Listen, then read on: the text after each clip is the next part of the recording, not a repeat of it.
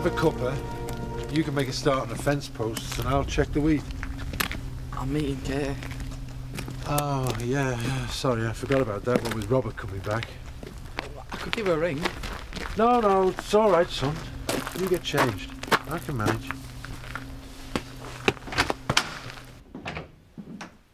So what do you think? It's like Zoe said, it's uh, muscle damage to his near hindquarters. How bad? It, it looked quite severe, but I won't know exactly how bad until we get the results of yesterday's blood test back. So what are we saying? A day, two days? Yeah, at least two days. Look, I, I know this isn't what you want to hear right now, but I think it's only fair to warn you that stallion may never cover another mare. In which case we can all pack up and go home, can't we?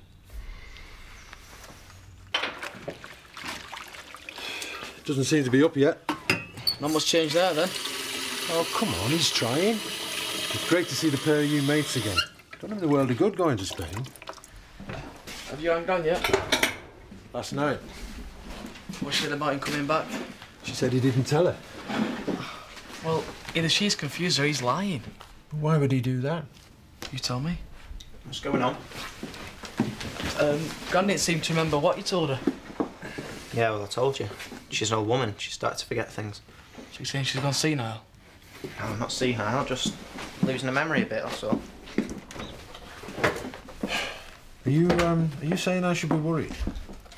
Don't think so. I mean, she's got all the marbles, just finds it hard to remember things, that's all. Comes with age, Dad. Be you next. Is she safe? She's fine. She's got loads of friends. People are always popping in for this and that. Don't worry about it. Right. He's looking a lot happier now. That's lovely. Thank you. Bye.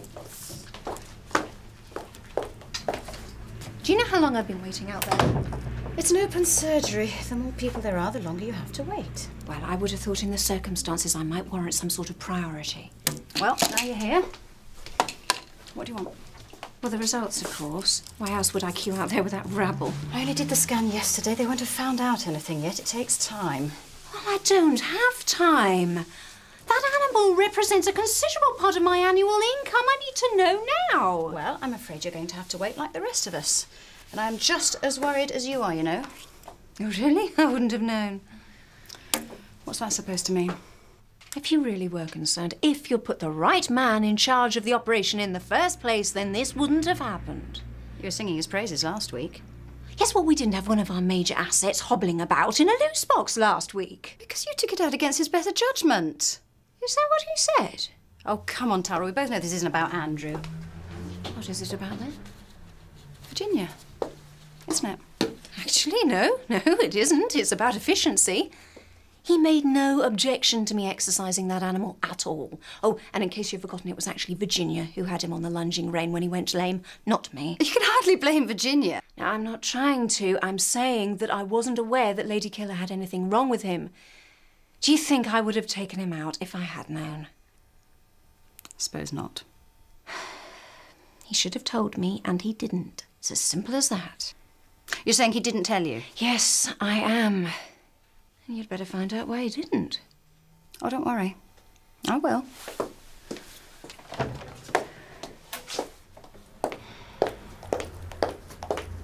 Next. So where is it you're going exactly? Hotton. I'm after a house. What do you mean? Bev's old place. It's been empty since she left, and just it for me and Carlos. Oh, so you've decided to move in together? Well, it's about time we had a place of our own. I'm sick of having to live my life in other people's houses. It's a big step. Well, we're both ready for it. Are you buying it? No, renting. What do you think I am, made of money? You must be very excited. You what? Just me and him in our own little love nest. I bet he can't wait. Oh, he doesn't know anything about it yet. Where's the surprise? But he does want to live with you. Of course he does. You don't think I'd go to all this trouble without checking, do you? Suppose not. Mm. Blow his mind when he finds out about this. See ya.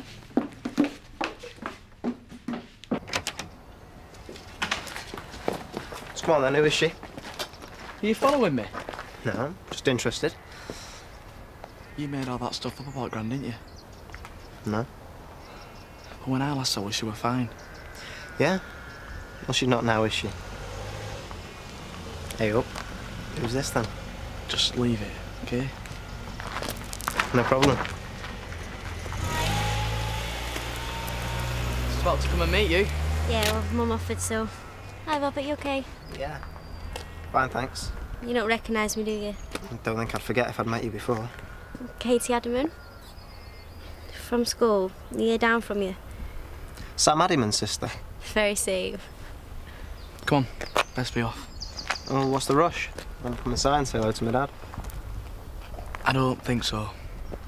I might see you later. Yeah, why not?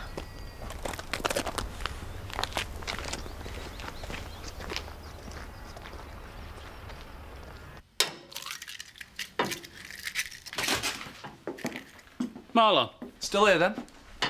wanted to catch you last night. Have a word. Bit late for words, wouldn't you say? Look, the way I heard it, you were the one who decided to leave. So you saw your chance and took it, yeah? No, it wasn't like that. What was it like then? I needed a job, Marlon. So you took mine? No, when I accepted the offer, there was nobody doing it. Yeah, well, thanks for stabbing me in the back, mate. I'll do the same for you someday. Marlon? Giving you a hard time. Oh, I can cope. You can do more than that, mate. You can cook. I was more than happy with your performance last night. Thank you. And don't go blaming yourself for his misfortune. He brings it on himself.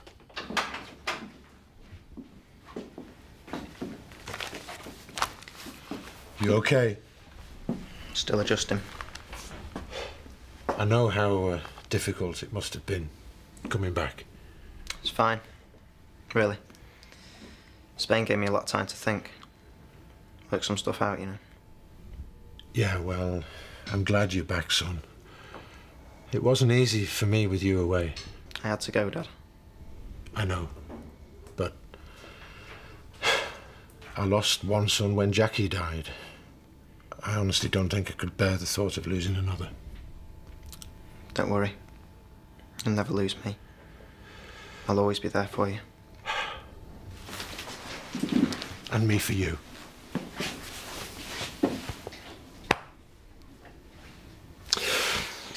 Well, this isn't getting any work done, is it? Why don't you uh, nip down to the village and catch up with Andy? I'd say three's a crowd, wouldn't you? Maybe you're right. And if it's all the same with you, I thought I'd hang around here. Give you a hand if you like. You don't have to. I might as well make myself useful. Especially seeing as my brother's otherwise engaged. Okay, let's get stuck in, eh? And as this matter is now of some urgency, I would appreciate some confirmation of this by return of post. Virginia, I need to speak to Andrew. Of course.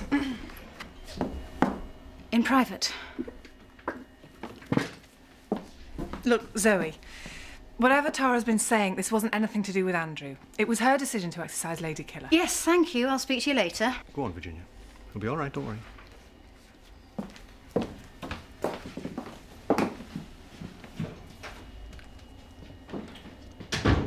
Bit dramatic, wasn't it? Not when you consider the future of that stallion's looking rather bleak at the moment. That had nothing to do with Virginia. Apparently they had him on the lunge when he broke down. Could you tell me why that was? I didn't want Tara to take him out in the first place, but I was overruled. She's the owner, you know. You're the manager. Why couldn't you have stopped her? Oh, come on. How could I have done that? When those horses are on these premises, they are your responsibility. Well, tell her that then. that was your job. I honestly don't know what my job is anymore. Well, I've got you and Chris interfering at every turn. Tara's sticking her nose in whenever she feels like it. Did you tell her you didn't want her to exercise Lady Killer? Yeah, and she took no notice. So you're saying it's all her fault? Oh, yeah. Did she know that he'd been unwell? No, no, I didn't get a chance to tell her. Can I ask why? Because she was going at us like a banshee. You know what she's like when someone tells her what to do. So you didn't tell her to go easy with him? I don't know, maybe I did, I can't remember. Andrew, that is not good enough. Did you or didn't you? Well, under the circumstances, probably not. What I can't understand is why you didn't ring me earlier if you knew there was something wrong with the damn animal. At the time, I didn't think the situation was serious enough. Well, that could be a very costly mistake. I was going to ring you if the situation deteriorated. But in my professional opinion, the horse was in no danger. I see. She's obviously holding me responsible. Of course she is. And so am I, because whatever the circumstances, you had no right to entrust exercising that horse to those two, whoever owned him.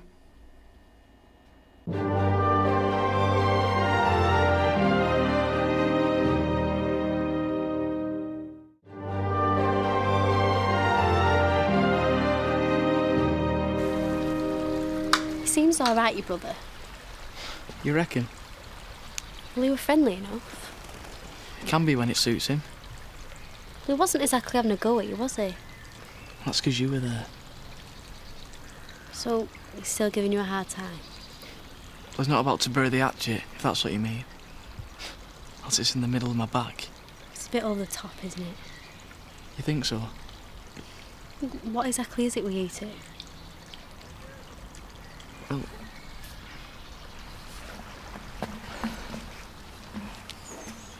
I'm not Jack's real son, am I? And what are you saying? That he resents you? Just a bit. But why if he's the real son? Because Jack gets on a lot better with me than he does with him.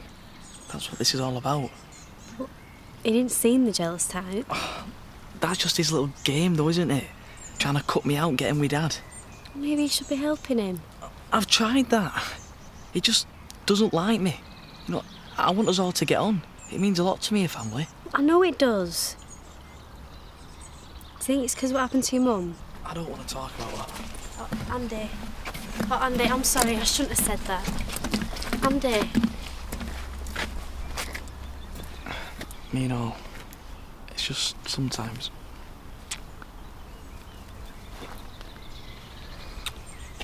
Bernice, same again. Are you sure? Nothing else to do, have I? Well, that depends. Just fill it up, Bernice, okay? Doesn't have to be the end of the world just because you've lost your job, you know. Whoa, whoa, whoa. Let's get something straight, right? I didn't lose it, I walked out. Still no reason to get legless halfway through the day. I'm sorry, the last thing I want now is motherly advice, okay? I'm not offering you motherly advice. I'm offering you a job. Eh? Cooking. In here. We need somebody. I'm no good at it. You can say that again. I can't work here. Why not? What? Because I'm supposed to be working at Chez Marlon, that's why not. You've just walked out of Chez Marlon, haven't you? And if I know Rodney he's not liable to have you back after that. She's right. You can be as stubborn as you are when it comes to a fight. I don't know. What have you got to lose? Nothing, I suppose. Look, I'm not offering you a year's contract, and it might just be one in the eye for Rodney. Yeah, it might at that. Okay. When do I start? Now? Right now? Why not? Why not indeed? Yeah. Well, that's one problem sorted. Yeah, and you get one over on my dad. Always an attractive proposition. Mm. Well, now that Marlon's cooking, you can stay here and I can go and put my feet up. Use the back room. No, it's okay. I've got a bit of shopping to do as well. See you later. Good looking lass, Katie. Yeah, she's pretty fit. I've only met her a couple of times, but she seems like a nice kid. I think he's quite taken with her. Yeah, I think so. You don't have to do this, you know. It's okay, I'm fine. Yeah, well, just say if you don't want to. Look, just shut up and get on with it, will you?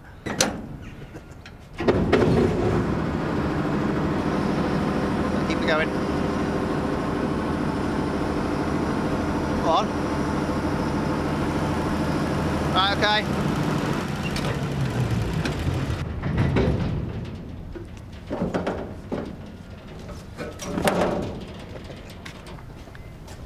Well, I'm glad I can still make you laugh. Well, I'm not laughing at you. Oh, yeah. Okay, well, I am a bit. I'm really laughing because I'm happy. I mean, you're back, you're here, helping, and you're making a real effort. Well, life's too short to bear grudges. You and Andy buried the hatchet then? I think so, yeah. Good. More important things to do with my time than dwell on all that. Absolutely. Shall we get on? Yeah, well, we'll just sort that and then we'll go and get a bite to eat, eh? So, mozzarella and tomato bruschetta with rocket and mixed leaf salad. Diana said I wanted a cheese sandwich. That's as near to a cheese sandwich as Marlon's prepared to go. What about what you were cooking? Not anymore. We've got a real chef now. So, can you honestly tell me you'd rather have a slice of cheese between two pieces of white bread than a taste of Tuscany? Diane, it does depend on how much it costs, doesn't it? Same price. Oh, that's all right then. Sold. She's as good as called me a liar. Just calm down. Pint of bitter and a dry white wine, please, Diane. Coming up. I can't believe the pair of them are ganging up against me. But I don't think they are. There's no love lost between Tara and Zoe. So what did she say to you? Just asked me to go over my story again. Exactly, they're trying to nail us. Ah, I don't see how they can. I I told her what happened and that it had absolutely nothing to do with you. She said I shouldn't have let Tara loose with Lady Killer. Well, she owns him. How could you stop her? That's what I said, but she'll not have it. She said I should have stopped her. Well, I'd like to have seen her try. Well, it's irrelevant. Someone's going to have to pay for this, and they're both going to make sure it's me. Somebody to see you. Denise!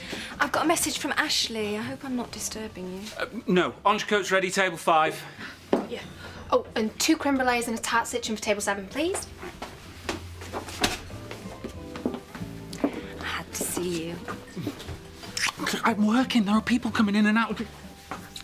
You're crazy, you know that. Come to the vicarage when you finish. What about Ashley? He's out. Oh, okay, but go, please, go. You will come. Yes, of course I will.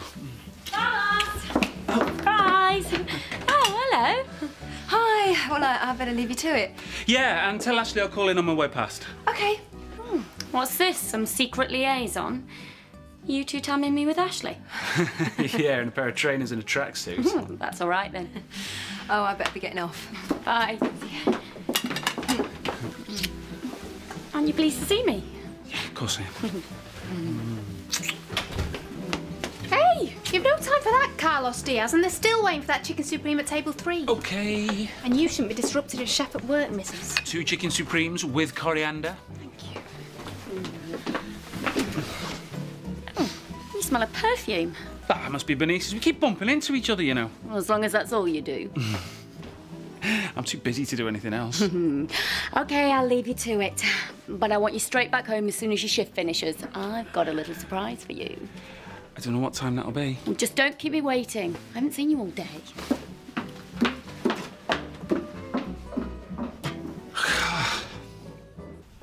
Oh, flipping heck. What a day. You always try and keep you talking when you're trying to get away, don't they? Yes. Any more news on that stallion? No, not since you. Oh, thank you. Saw him this morning. Um, did uh, Andrew say anything to you, by the way? No, only that he thought it was Tara's fault. Afraid it's not that simple. He's admitted he knew there was something wrong with the horse before he let her take it out. Sound like him. Oh, I know.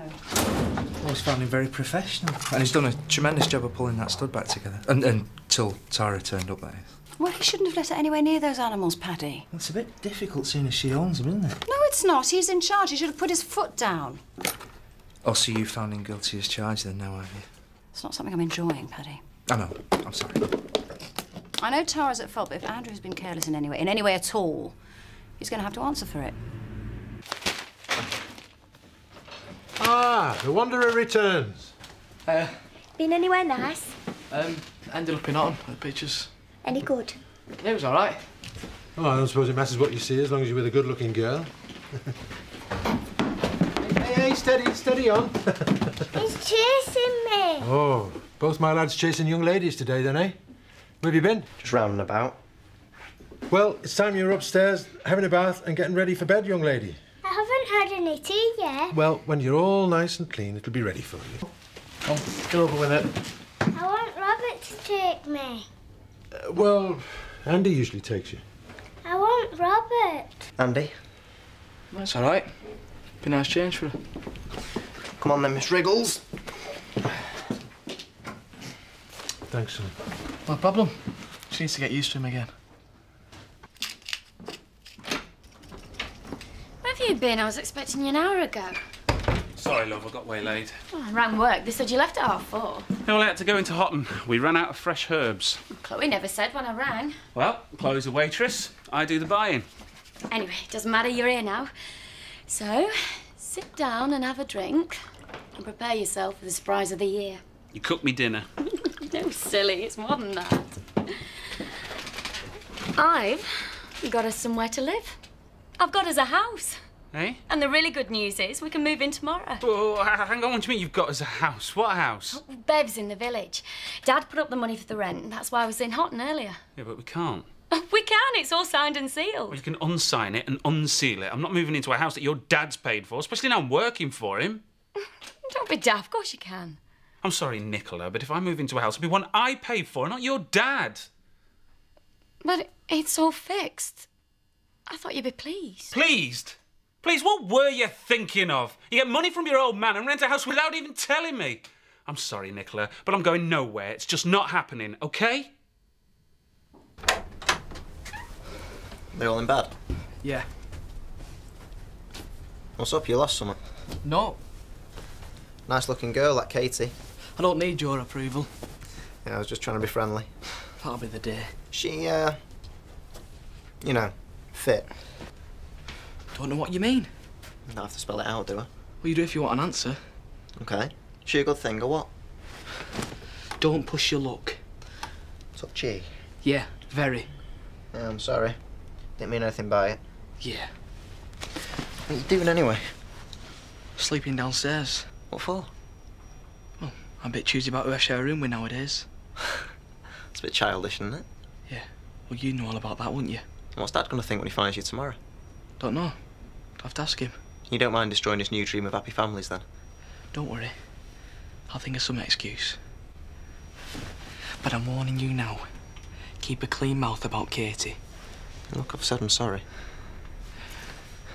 I know what you're trying to do, Robert. I'm telling you. You won't come between me and Dad. And you certainly won't force me off this farm. Don't know what you're on about. Don't you?